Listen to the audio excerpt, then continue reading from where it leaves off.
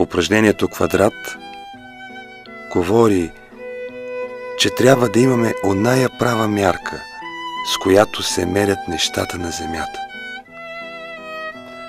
При него лицето се обръща последователно към четирите посоки на света. Изток, запад, север и юг.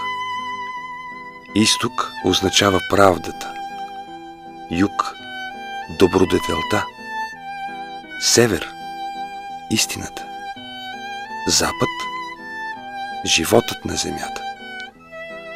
Запад показва какво благо е истината, правдата, добродетелта на човека. Мъдрецът намира щастието навсякъде и във всичко. А обикновеният човек само в специфични неща и места. Глуповият пък намира нещастието навсякъде и във всичко. Хората страдат, защото не са мъдри. Мъдростта е, която дава светлина и знание.